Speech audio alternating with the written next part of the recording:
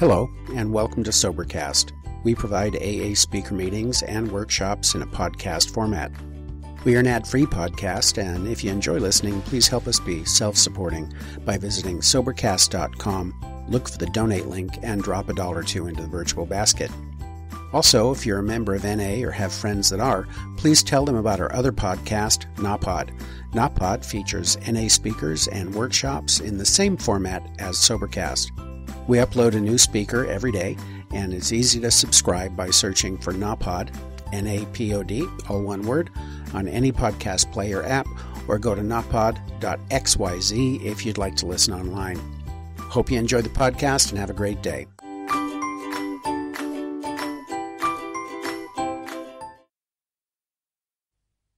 Good evening. My name is Billy. I'm an alcoholic. Hi. And thanks, Wayne, for asking me.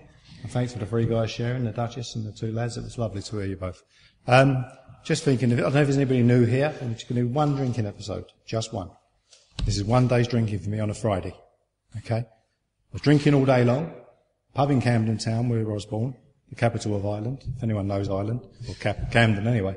That's where I was born. And this day drinking, I was spent a whole day at it. And I came back into the pub and the barmaid said to me, did you notice anything different? I said, no. She said, well, yesterday you was in here all day.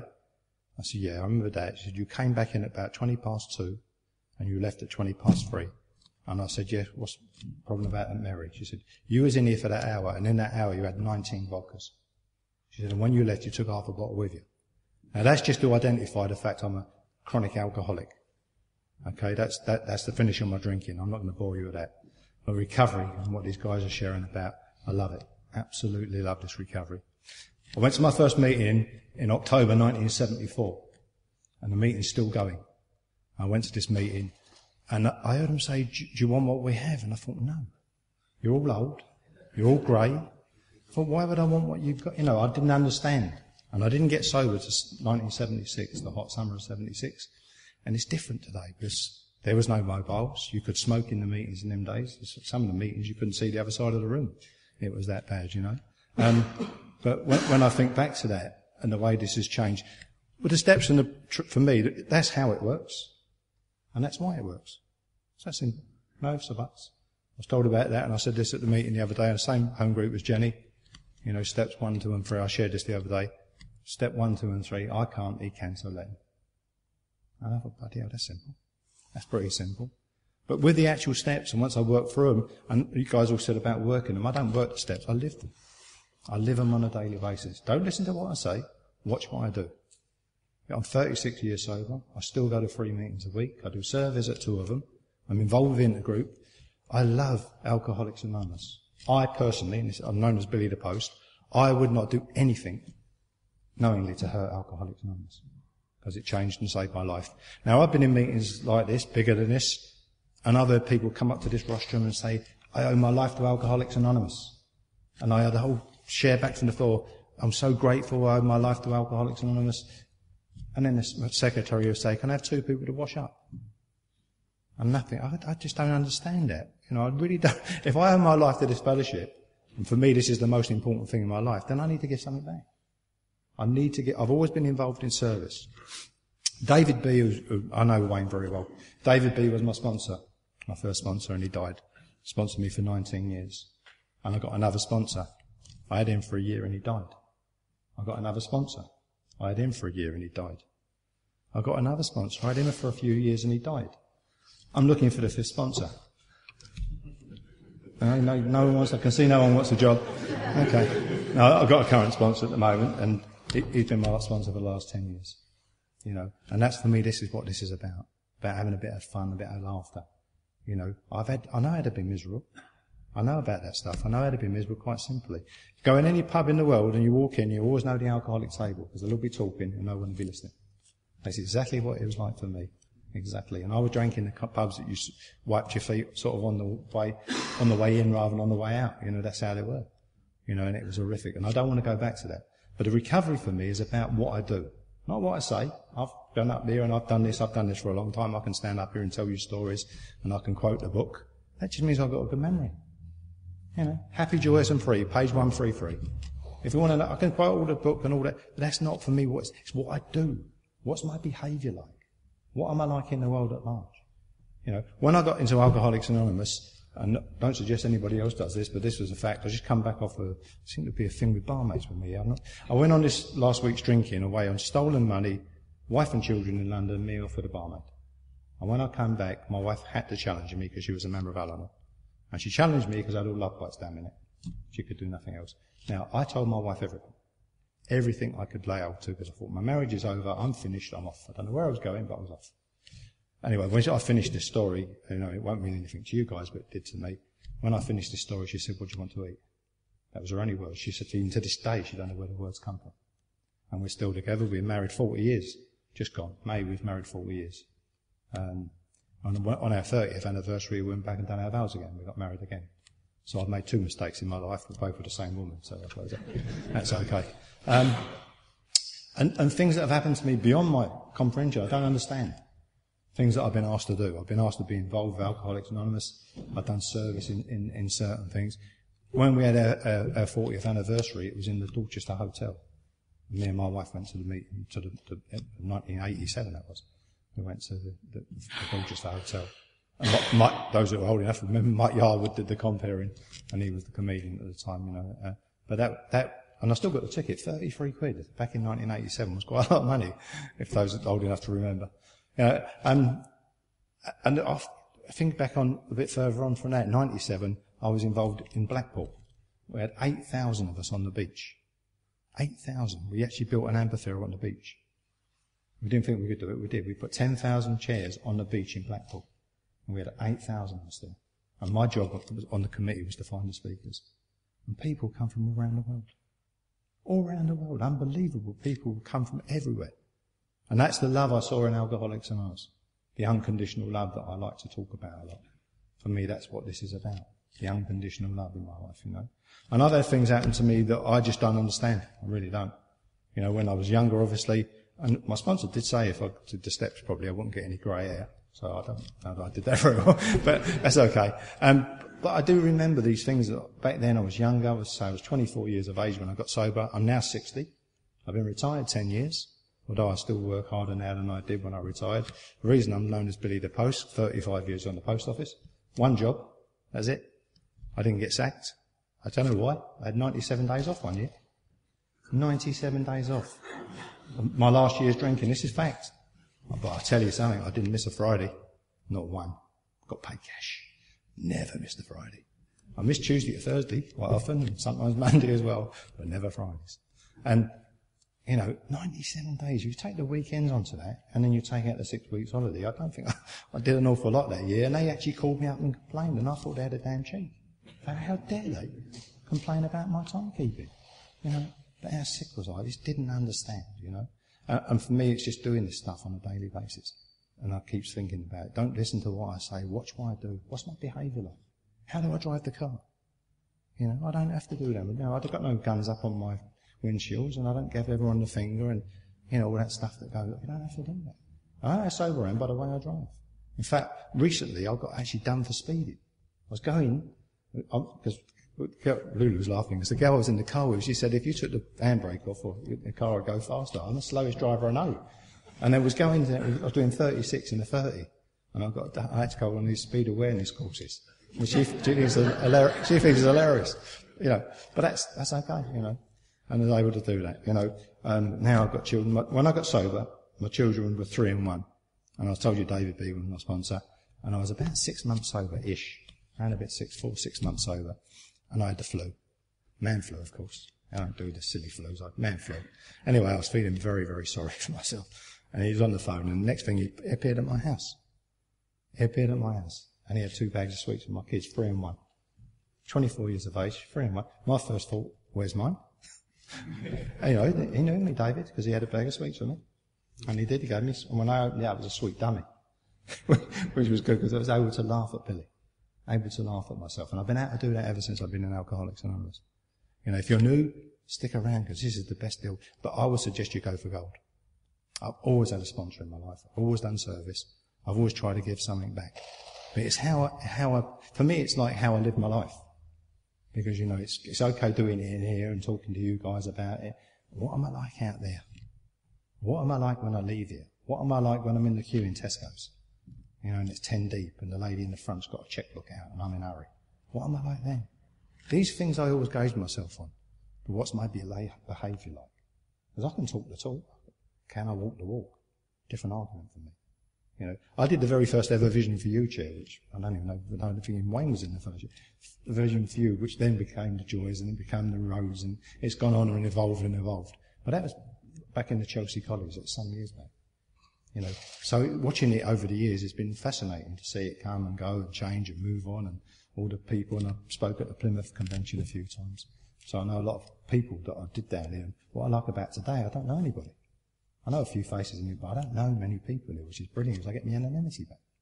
It's okay today, you know what I mean? And be able to do that stuff. Love and gratitude for this alcoholic are actions. Don't tell me, show me. Because I've heard the words, I've seen it. I've seen people come up and do chairs like this. And then when I watch him after, I sec. You just shared all that stuff, but your behaviour don't match that. Because I hear what you say, but I watch what you do, and it don't match. You know, and I get this thing when people speak with a heart, about this fellowship. What a tremendous fellowship. This is the best deal in town, mate. I tell you. There's nothing better than this. But I want a gold recovery. I ain't settling for no second rate stuff. I want the gold recovery. And if I want that, then I have to do the stuff. I have to do the work. It's simple. And I sponsor a lot of people now. I've Probably, uh, okay, probably about 100 step fives in my time. But they're sacred. Listen to people's step fives. It's sacred. And I've heard everything. Most of them are the same, very similar. I've heard it. The only thing I haven't heard is cannibalism. So if you've got that, maybe that's about. I've heard a lot from one thing, and it's okay. You know, I'm a sick bunny trying to get well, and I didn't know that at the time. So it's coming here and seeing the, and the love, the love that you know, you see a broken, beaten person come through the door, and you see in a few few days, just the, you know, three six weeks down the line, you see a little light come on their eyes, and things things start to change. You see people start to get well. That stuff is, is, is priceless seeing it. I've never met anything stronger than that. And God for me is unconditional love. You know, I don't think about around that. It's for me. And I've been in meetings when I've heard an American in London say, he said he believed in the gospel Called according to Luke Skywalker. And everyone laughed and I thought, well, why not? You know, it's a false. If that's what you believe in, good, bad, evil, it doesn't matter. For me, it doesn't matter what I believe, providing I trust what I believe. And today I do, you know. And so I've got grandchildren now. I've got a little grandson who's nearly five just had a little granddaughter about seven. Brilliant stuff. Being able to be there and the trust and the love that weren't there before. I had a sponsee, I had a sponsee down in uh, uh, Buckingham and he was going to get married. And I tell this story quite often because it just blows me away. And he's going to get married and, and his girlfriend rang me and said, because her dad died of this illness, both her brothers died of this illness. Mum was a member of Alcoholics Anonymous as well. And I, she rang me and said, I've got something to ask you, Billy. I said, what's that, Lynette? She said, I'm getting married to Lindsay. I said, yes and no. She said, I'd like you to give me away. Where do you get that stuff from? Where does that stuff come from? It can only come from the love and the trust. And I'm the kind of guy you couldn't trust with anything. I would have said yes to everything and done absolutely nothing. My name would have been on everything. Yeah, sold that, no, uh, sold it, no, done. It's all right. Now leave it to me. Organised. And I would have done absolutely nothing. Said everything, did nothing. For me, this is a program of action. This is definitely for this alcoholic, and I'm speaking about Billy A program of action. Having a sponsor. And I've never run my sponsor every day. Drive it. It'd kill me if I did. I've never done that. I didn't even with David. You know, because this was before the days of the visions and the joys and all that stuff, you know. I used to go over there quite often. And I got a few resentments.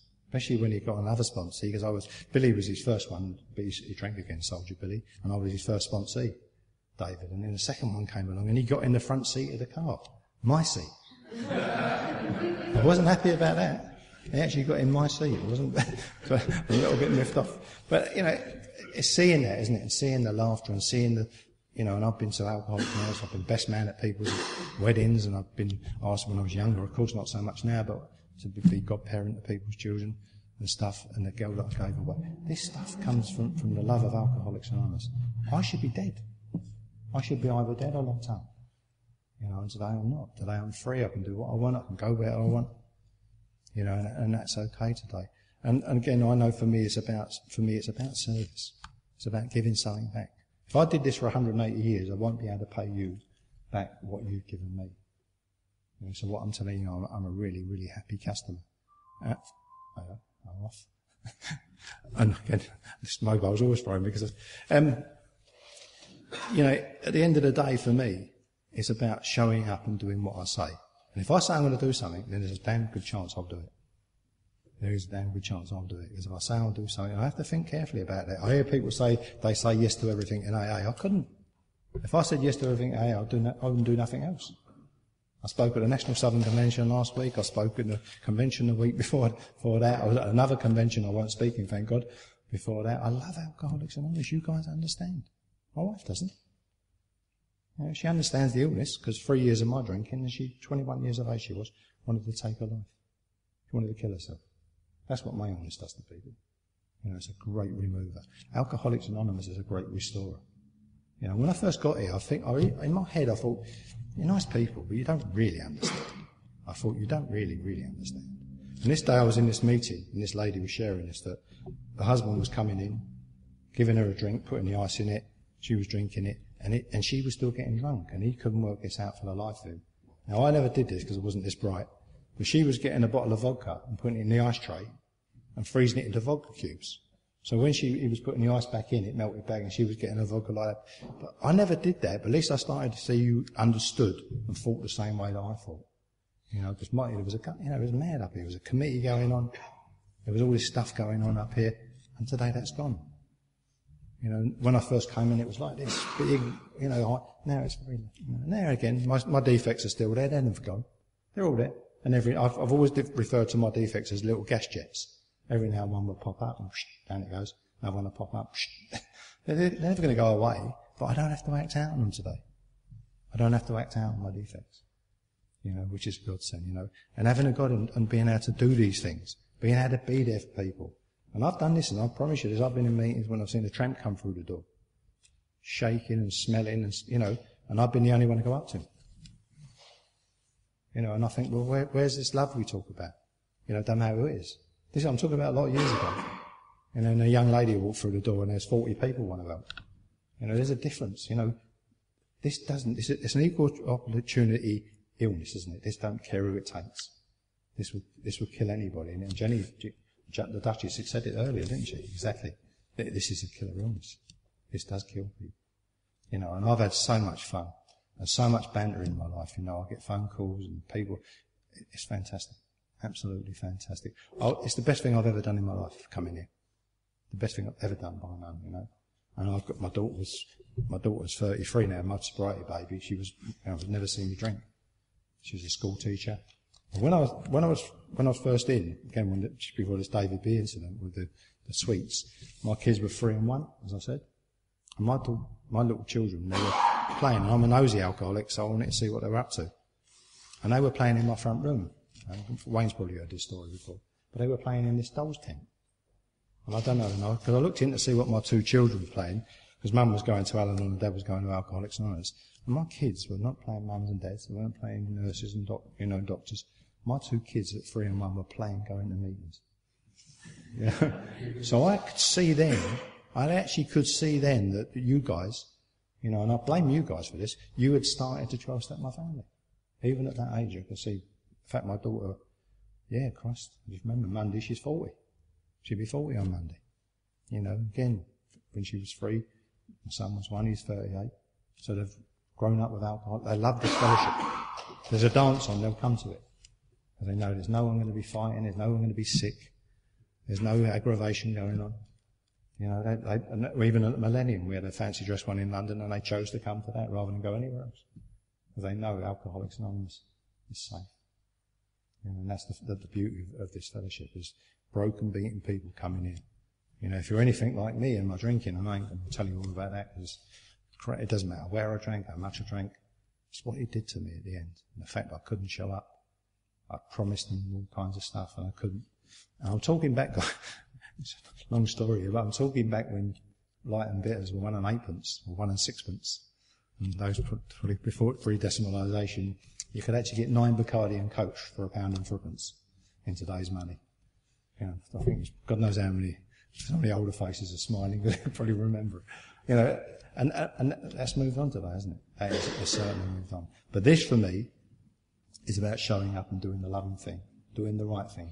The things that all my sponsors have showed me and taught me, the love they showed me, You know, and, and the way, I, and I've seen their, their example.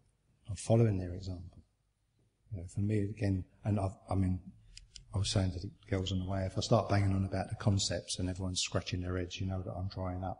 So I'm not going to do that. But, but it, it's, it's just, I love the history of AA. I love it. I love that when you look through back and what, and I met some, I met Lois Wilson. And back in the 80s, I met Bill's wife.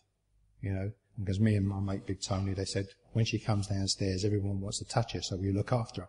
So even one of us stood either side of Lois. She wanted to meet everybody. And that meeting I told you about in 97, there's a guy there called Searcy Wells, 51 years sober, they did a sobriety countdown. And Tex Brown was 50 years sober. These guys, and, and Searcy and Bill actually made the first set of traditions and framed them and given to the Cleveland Convention in 1950. So they're things that I love about this fellowship.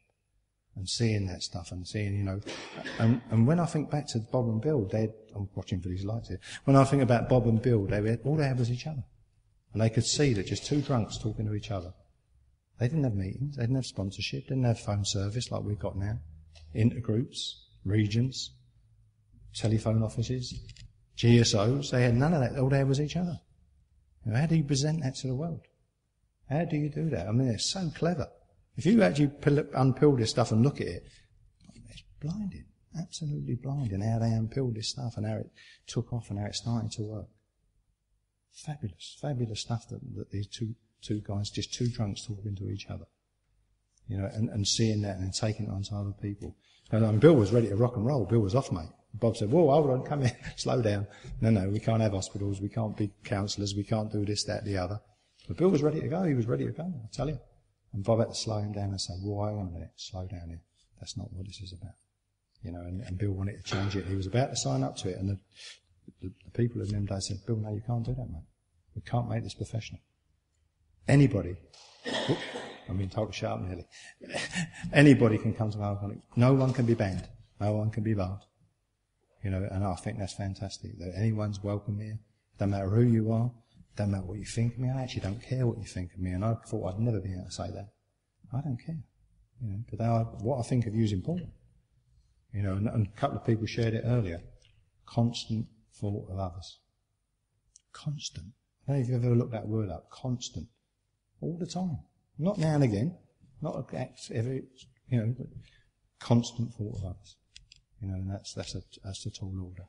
And the just for the day card and all these things that I try to live on a daily basis. I'll show you this and I'll shut my face. Criticise not one bit. Not find fault with anything or anybody. Oh my good God. I can walk outside the door and I'm off. Look at the state of his shoes. They're green. I mean, that's, you know. So, I'm never going to get perfect, thank God. All I can do is do this a day. God bless you for listening to me, and, and, and it's lovely to be here. Thank you very much indeed.